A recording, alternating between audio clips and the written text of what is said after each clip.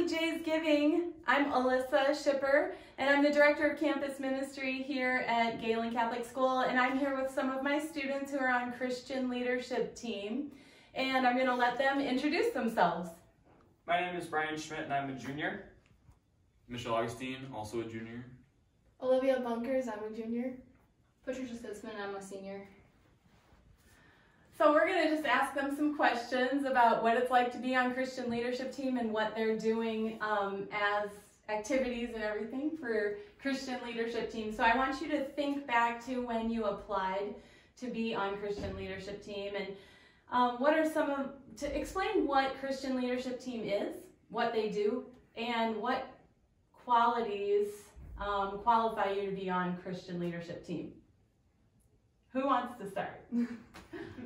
Um, so like for Christian leadership team, um, so we do a lot of things. We go out into like the community. We um, help like take care of all of the assemblies and like Veterans Day service and Fall Day service day and all that stuff. Um, we also help in small groups with our school and like help build everybody up in their faith. Anybody else? We definitely do a lot of um, go out and like spread good good stuff. We call it outreach. So we do it in school and out of school to help everyone grow in their faith. And so, gentlemen, you answer the question what qualifies or what, what are some Christian leadership team qualities? You have to have leadership abilities. You have to be willing to go out and serve others, and you have to be active in your faith. Yeah. It's different from being just a leader. It's it's Christian leadership, so we really tie our faith and bring our faith into everything that we're doing. I would say definitely flexibility is a big one because you know we plan stuff and then we gotta change it all of a sudden. So yeah, flexibility is a big one.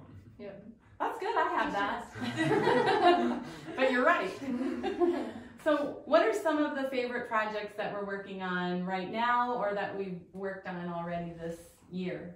We're doing Advent gift bags right now, so everyone's compiling in, and so we can get Advent gift bags together and give them to the community, to nursing homes, and all that good stuff.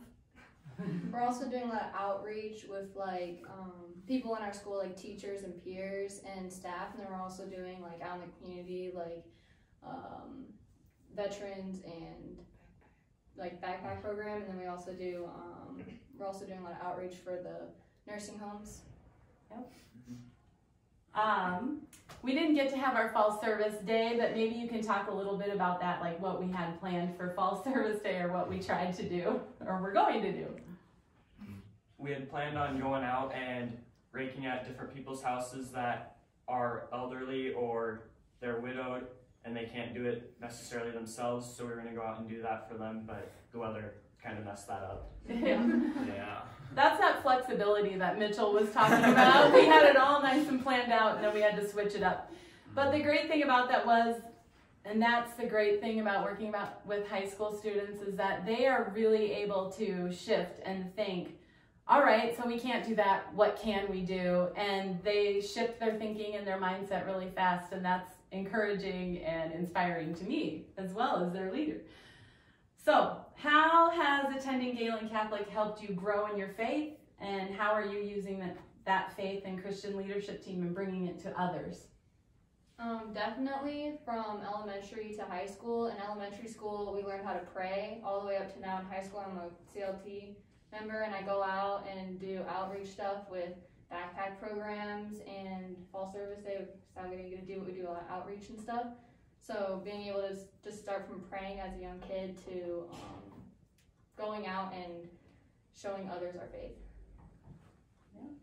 Satisfied with that answer? Yeah, so something new this year that we have been doing are small groups, and that's one of the blessings that has come from COVID is that it changed how we are going to mass and it but it's given us the opportunity to break out into these small groups throughout our whole 7th through 12th grade. And so all those students are divided into a small group and these and Christian leadership team members are leading those small groups. So talk a little bit about small groups and how you see it helping um, us come together, how you see it helping us grow in faith.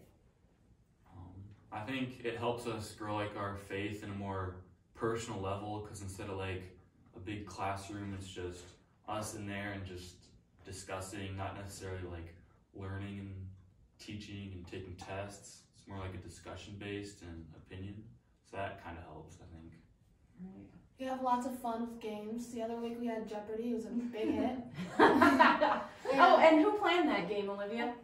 Me and Hannah Zubron. So we play games, and then we also um, have like fun with like silly questions and would you rather's. So it just helps people involve and get people together, talking to each other, and having their own little small group as like a little family.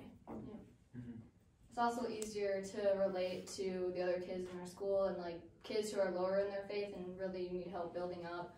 We can re- like have them relate to others who are in the small group and also to us, so we can help them grow.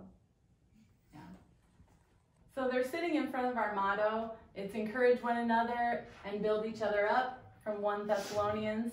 And so we really, in everything that we do through Christian Leadership Team, we try to go back to that motto and how can we encourage others? How can we invite others as Jesus did? We always say Jesus had followers and gained followers by inviting and welcoming and encouraging and what how can we do those things in our school?